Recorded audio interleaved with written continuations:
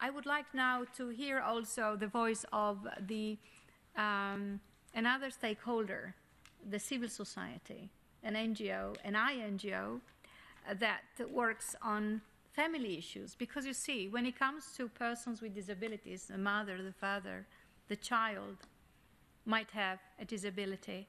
And isn't it wonderful when the family can reunite in environments that are inclusive and accessible so that there they can spend quality time together? So I would like now to ask uh, Alex, uh, Mr. Alex, Alex uh, Vazquez, uh, who is here on, be on, behalf of the President Mario Armella of the World, uh, or Armella, because actually it's Spanish, sorry, um, the World uh, President of the International Family Federation for Family, to share with us in four minutes some of the activities that uh, you consider can add value to the panel that will be following this opening. Thank you.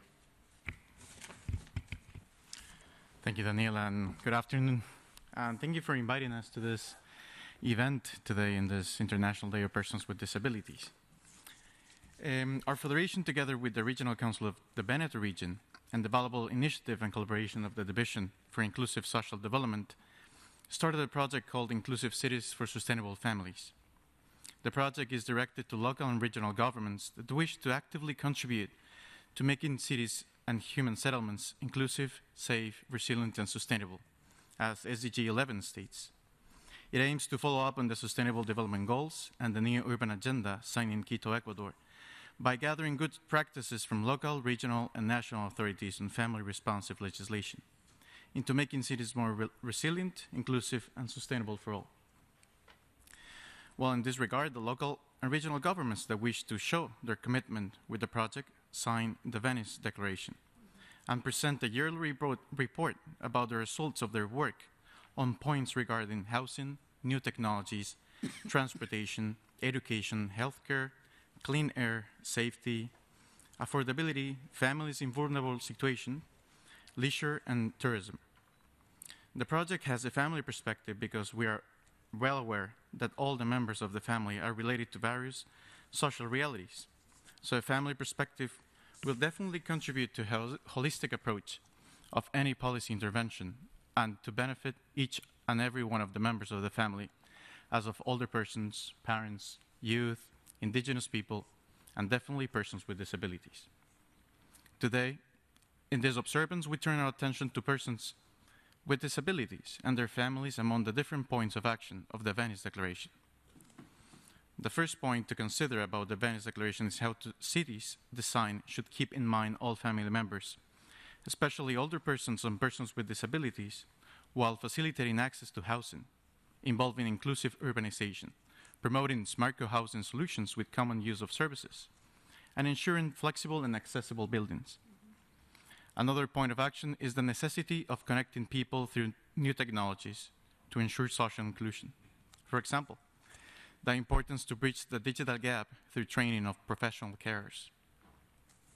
Also, the provision of inclusive and quality education for all and the promotion of lifelong learning, as SDG 4 states too should lead to the improvement of accessible and affordable participation of persons with disabilities in educational activities.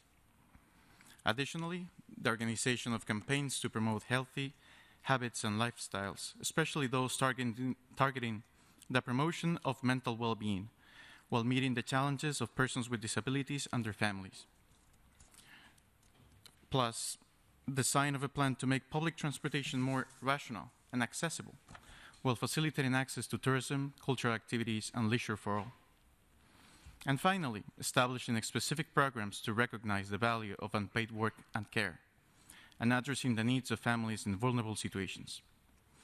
We are committed to follow up on all the good practices and reviews that this initiative will bring. We are also sure that this universal call for action will promote inclusive cities for sustainable families and will help to leave no one behi behind especially persons with disabilities and their families. And before closing, I want to appreciate once again the sponsorship of the Permanent Mission of Ecuador and Malaysia to organize an event during the observance of the World Cities Day last month.